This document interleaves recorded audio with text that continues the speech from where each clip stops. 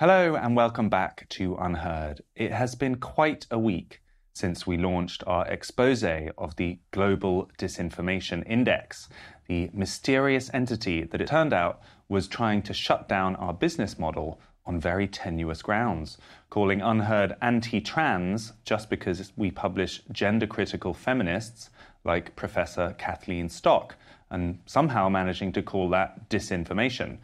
In any case, the video that I made has been viewed nearly 8 million times on X, that is Twitter, and was partially propelled by being shared by none other than Elon Musk himself, with the following message. Ironically, he said, GDI pushes disinformation and should be shut down with recriminations for the miscreants. I am headed to the US next week for the Dissident Dialogues Festival. If you are there, definitely check it out, 3rd and 4th of May in New York. And I'm hoping that we might get a conversation with Elon Musk during that week, so stay tuned for that. Elon wasn't the only industry titan to weigh in, however. The CEO of Zoho, a huge Indian based software company and one of the richest people in the world, said the following It is not just that the Global Disinformation Index turns out to be a global left censor board, he said. Most of the global indexes that purport to rank countries on a variety of criteria have an explicit or nearly explicit left agenda. We must be careful in using these rankings.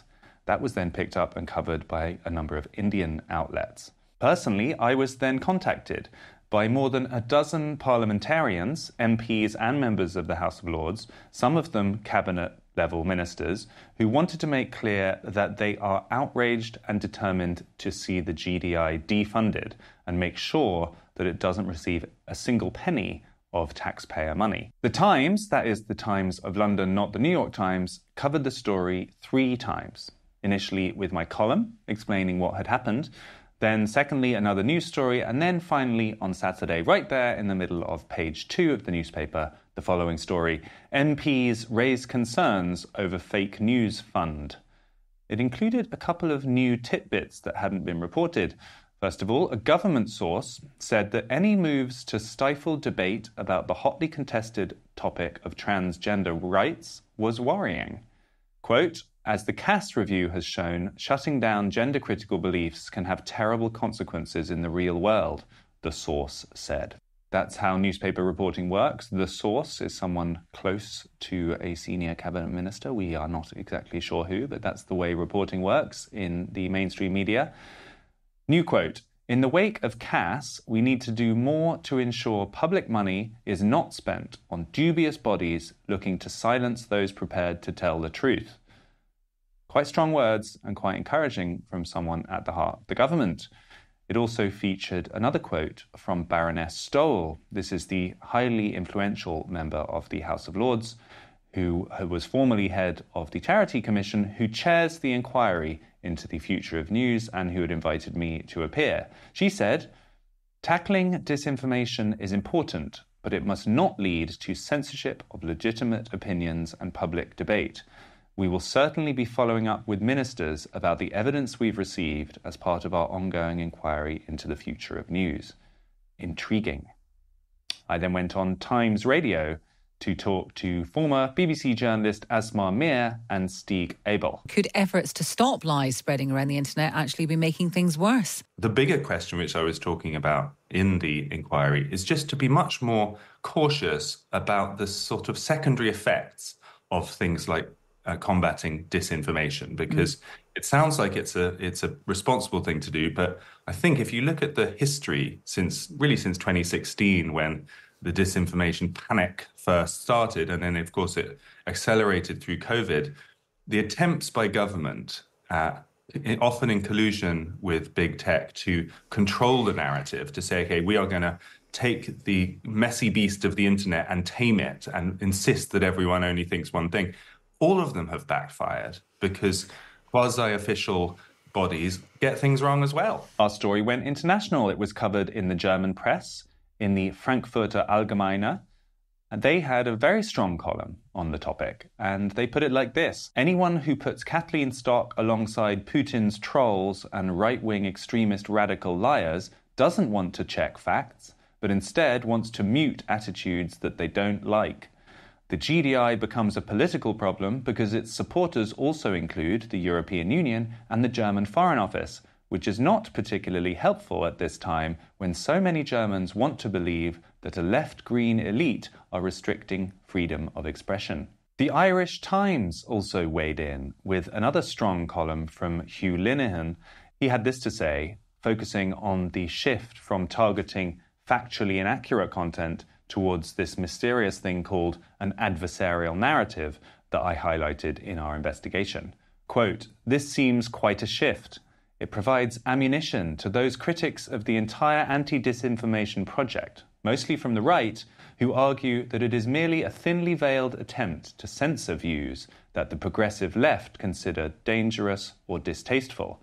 But it should be just as concerning to anyone who believes that society really does need better guardrails against the tidal wave of online disinformation. Interesting there that people who support the disinformation movement, even they were quite shocked about what we had to say. And I think that's a good thing, by the way, because it means that the establishment center is also realizing that this overreach is dangerous. If Sayers' account is accurate, and it has yet to be rebutted, he said, it would appear that an organization financed by several governments is using opaque strategies to stifle legitimate debate in a democracy. It's the sort of conspiracy theory you might come across on a dodgy website except this time it might be true. Zac Goldsmith, Lord Goldsmith, a prominent member of the British Conservatives, said this This organization, the Global Disinformation Index, shouldn't receive a penny of public money until it can demonstrate beyond doubt that it has not itself become a purveyor of disinformation. It is beyond belief that it considers basic biology to be disinformation. We also noticed some somewhat mysterious activity over at Wikipedia, where the official entry for the Global Disinformation Index has been taken out of being fully published and returned to draft mode. And it looks very slight. It suddenly got very small. It doesn't have a lot of information and makes almost no reference to our investigation or the huge amount of public scrutiny that they suddenly are facing. And right there at the end, there's a list of footnotes it includes the Irish Times article about our investigation. It includes the Frankfurter Allgemeine article about our investigation, but surprise, surprise, does not include the original UnHerd link. I suppose it is not beyond the realms of imagination that people within the GDI or close friends of the GDI have been hard at work at Wikipedia, editing away to make sure their reputation is not damaged. Let's keep a close eye on that Wikipedia entry. So, who have we not heard from? Well, mainly the Global Disinformation Index. You might have thought, after global figures are weighing in, people in Parliament, major newspapers are all talking about how their activity is suspect and they shouldn't be receiving public money, they might make a statement. You might expect that one of their spokespeople would come out and defend them. Maybe they'd say, We made a mistake with UnHerd. Maybe they would say something else, but no, completely absent mysteriously invisible. It's the most extraordinary PR response you could imagine. And I think tells you quite a lot about what that organization has become. Because if you go back to their website back in 2018, when they first launched, as I did in our investigation, you can see that transparency is one of their key values. They talk about how when they publish their index, they're going to make sure it's public. It's not. They're going to make sure that the mechanisms and the rationale for the decisions they reach are publicly shareable. They're not. And they're going to be there to defend their decisions. Well, evidently, after an enormous global news story about them, and they don't even say a peep, they're not. So it's quite disappointing, to say the least, just how untransparent an organization devoted to combating disinformation seems to be. Given this huge amount of public interest in what we had to say, I thought we should put my testimony to the House of Lords out there on YouTube for everyone to look at. It's kind of hard to find on the Parliament website. I was there for an inquiry the House of Lords is doing into the future of news. You turn up, you go through all of the very elaborate Victorian Gothic chambers, then you come to a committee room, and there there's around 12 or 14 lords, uh, most of whom are people who've done big things in public life. They've had grand positions. Some of them are formerly MPs, and they're now on this committee investigating digital and the future of media. On the committee are people like Dido Harding, now a baroness. You might remember her from the COVID era. She headed up the NHS test and trace system, which you might have strong views about, but she was actually very interested in what we had to say, and I thought she might be a bit resistant on some of what I was saying to do with the COVID era, but she seemed interested. Lord Hall, former Director General of the BBC, pretty much the top job in British media. Uh, he was also interested in what we were talking about. And because of the arcane systems of the House of Lords, we even had a bishop. Yes, Lord Bishop of Leeds was present. Again, very interested. So they started by asking how we felt the conversation around disinformation had changed over the past 10 years. The question was whether it's changed in the past 10 years. Uh, I think really the past eight years is the most relevant time frame. Uh, it seems to me it's inextricably linked to the populist revolutions of 2016, both Brexit and Trump, and everything that's happened since, particularly the COVID era. And actually, you can chart this if you look at Google Trends, which is quite a useful tool to see how much people are searching. Nobody was really searching for disinformation. It wasn't a talked about topic prior to 2016. It quadrupled during 2016, and it has increased more than 30 times since the middle part of 2016 and, and 2022. So it's a new, relatively new talking point.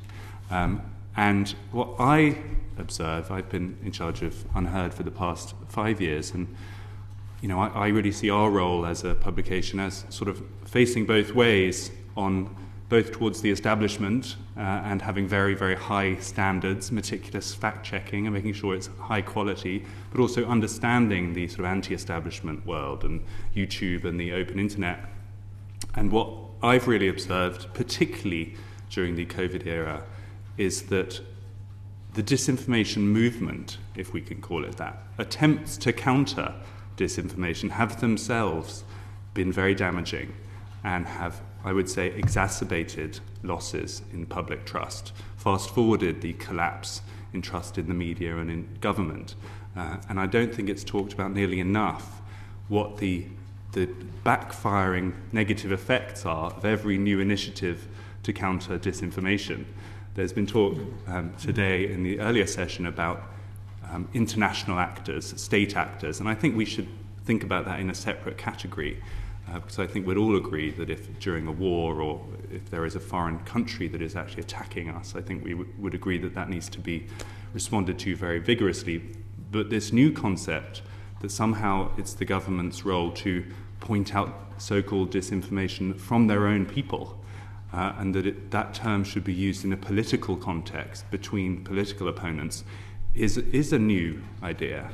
And I'm really worried that it itself, the, the, the attempt to fix it, is actually more dangerous than the. Could you give any examples? And I'm interested in whether anti vax during COVID was a, is an example of that. Yeah, I, I do think the, the fusion of uh, kind of government messaging with the mainstream media during COVID was, and the, how strictly that was policed. Um, you know, it was important for us at UnHerd because we were actually conducting interviews with experts that had all sorts of different views about things like lockdowns and vaccine mandates and the rest of it and you know it took off. There was a huge underserved audience for responsible questioning of those issues, and you weren't finding it in the mainstream media. And I, I am certain, having witnessed that up close, that many, many thousands of people who, prior to the COVID experience, were not especially politicized and didn't really think about these things, have been radicalized during that process because there was this sense of a sort of single message coming out of all of the television screens, and it felt very dystopian and unnerving to people. It didn't feel like a free media. So I, I do think big mistakes were made during COVID, and, and I was pleased to see the House of Commons Culture Committee just a couple of days ago request a report into the activity of the so called um, government disinformation unit in relation to COVID, because, yes, I think creation of those entities and the proliferation of them actually just fan the flames of the conspiratorial worldview because it, it gives legitimacy to the idea that there are far away uh, government backed censors watching your every move and policing normal political discourse. So, my point of view is definitely that we should be, while recognizing that the internet is open and disinformation or inaccurate ideas can travel, and we should be observing that, we should be very careful about measures to start censorship, particularly if they involve the government, because I think they do more harm than good. Dido Harding then asked, and if you remember, I had mentioned she actually played a really important role in the government COVID response. She headed up this huge test and trace program, was involved in the vaccine program, and therefore I had thought she might be a little bit resistant to some of my ideas, but actually, even she was quite interested and engaged. I chose that as the opportunity to talk about the GDI and everything they have been up to. I would love to provide one specific example, if I could, of just how embedded the, the danger of politicizing this movement has become. Um, we at UnHerd decided to take ads last year for the first time. We have a subscription business and we didn't have ads, but we decided to take them.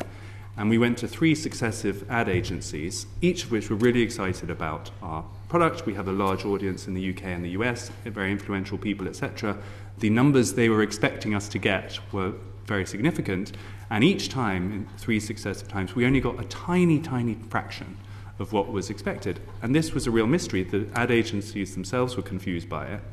And eventually, with the third agency, we uncovered that in the machinery of delivering online ads, there are, exist these gatekeepers, uh, which call themselves ratings agencies, uh, that give ratings to websites based on disinformation or not, based on you know, security and risk.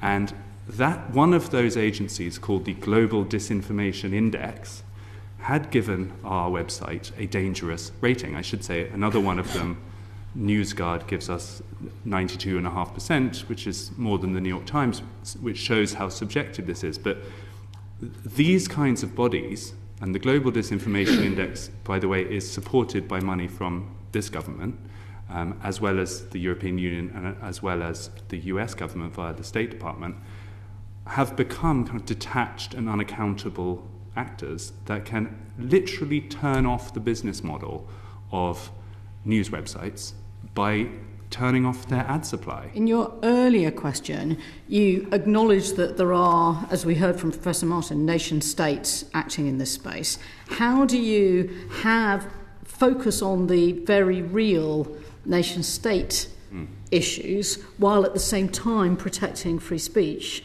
Um, in a way, you know, as highlighted by the example that you've just given. How do you square that circle? I mean, very. I know we have not very much time, so it's a short answer. Acting against your own people, um, whether it's observing them, defunding them, censoring them, fiddling with their business models, is, I think, just something that should really be avoided in almost all scenarios. So, you know, governments can make a very clear distinction, I would have thought. Uh, yes, if it concerns foreign actors, let's get involved, but we should be extremely careful about anything where, when it regards our own citizens, because what it will do is magnify paranoia and distrust. Next, they asked, what should government and big tech do about disinformation? Should they just do absolutely nothing? Here's what I had to say. I think it should be almost entirely the responsibility of media organizations. It used to be considered an intrinsic part of journalism to do fact checking, and it should still be. Fact checking, I don't know why it's now considered a separate skill set. Every journalist should be a good fact checker. And it's absolutely the responsibility of a publication to check the quality of the information it's putting out. And if it puts out shoddy information, it's, it will become less trusted by its audience. Um, you know, we, we, we must credit people with the ability to be more sophisticated, I think, and already people are becoming so. Um, in terms of what we should do, I definitely think less is more um, in terms of creating new units, and this goes for big corporations as well as governments, that every time you create a, an entity with an, an Orwellian sounding name, you, you create a new risk that everyone is going to suspect you of censorship. So, first, first of all ask, do we really need to do this? Um, secondly, can it be done in a more organic way? And I think um, community notes was mentioned in the previous hour, and I think that is an interesting example. It's, it's a system within the new Musk controlled Twitter. Um, it's by no means perfect, and I'm sure it frustrates a lot of people because when you put out a tweet, if enough people think it's inaccurate, you get a sort of note under it saying this has been questioned. Um, but I think that's a more realistic and honest way to talk about disputes about facts because when you see one of those, you think, okay, this is the claim, and I understand that it's contentious. I don't know if it's definitely wrong, and crucially, avoids the taint of officialdom. There's no sense that it's it comes from the center and somehow, and in fact, Elon Musk himself is subject to fact checking on his own platform, which is good to see. So, the more organic and kind of bottom up that process can be, I think the more trust uh, it will have. And thirdly, trying to make sure if any kind of measures need to um, be instituted to do with censoring things or taking things down, make sure there is a transparent process attached to it. Because I think a lot of the alienation and paranoia has come from this sense that there is never an explanation given, things are mysteriously removed, and you have no recourse. So it goes against your sort of liberal instinct that if you be, are judged to have committed disinformation, you want to be able to appeal it, but it's very rarely possible. It, it, these things happen very removed. So if you're going to act as a sort of court on people's uh, pronouncements, you need to offer a process that is clear and people can appeal. So there'd be my suggestions for how better to treat the disinformation problem. We then got into a conversation about the dangers of the online world, about how the media is becoming hard to navigate, and how fundamental questions of truth are becoming secondary to just getting clicks and whatever you say, it doesn't matter if it's true or not, as long as people are interested, it works. And these questions came from the Lord Bishop.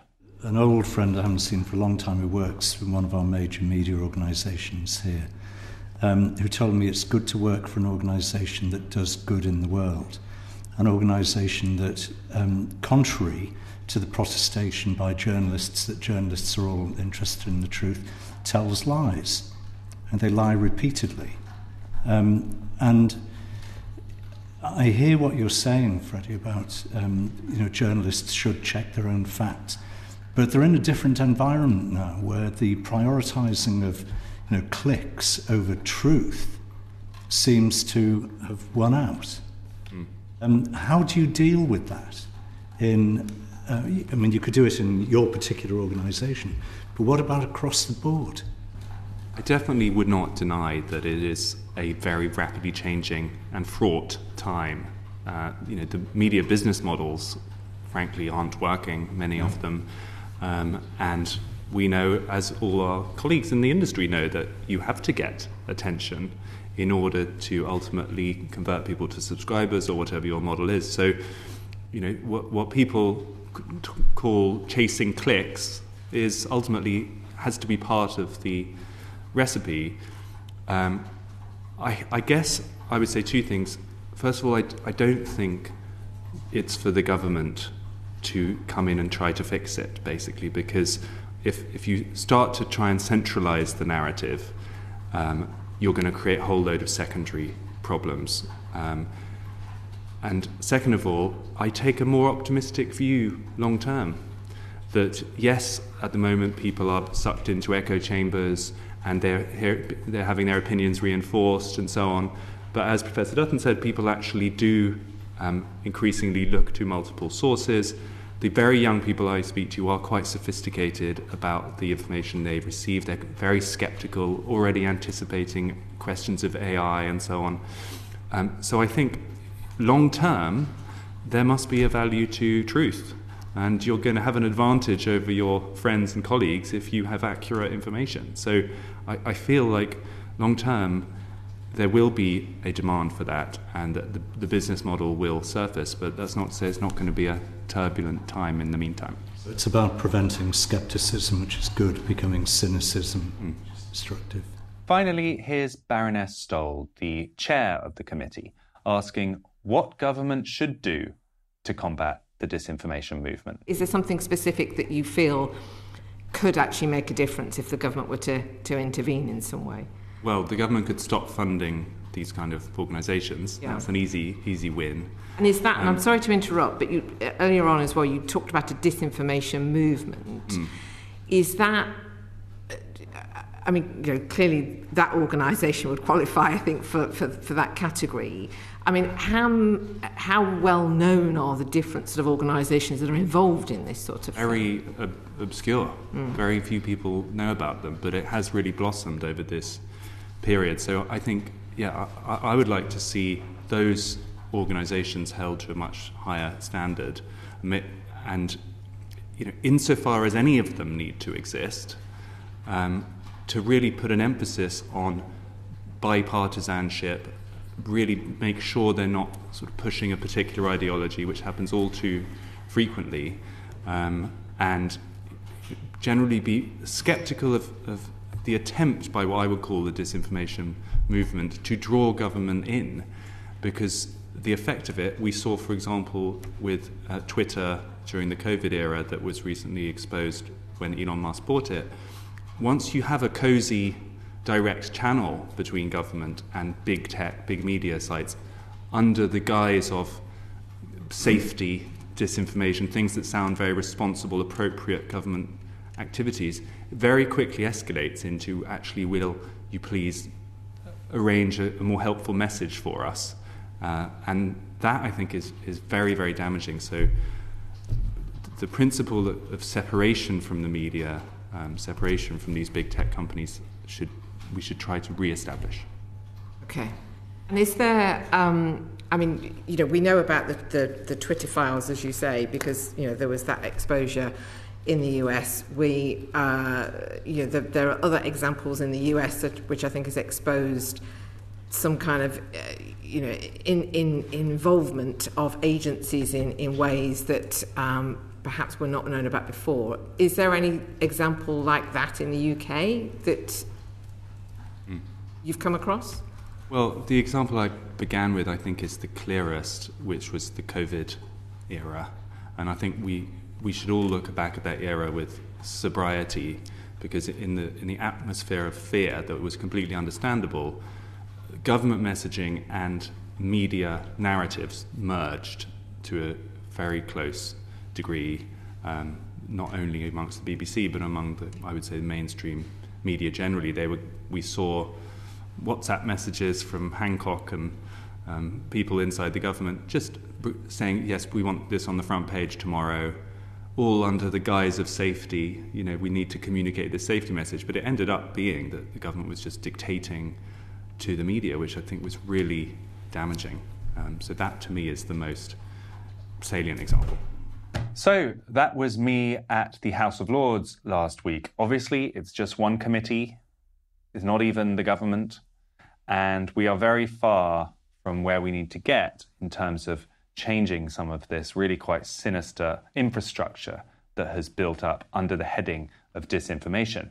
And yet, it feels in the last week that we've made some small amount of progress. At the very least, more people are aware that the disinformation movement is potentially more sinister than it sounds. In the meantime, we want your help. If you spot things related to this, whether it's the Global Disinformation Index or any other similar body in any country across Europe, North America, or around the world, let us know.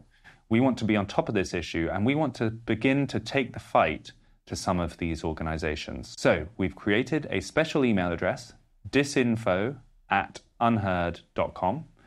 And if you have spotted concrete facts, we're not looking, I'm afraid to say, for your opinion about how awful it is or whether you disagree with me or those kinds of things.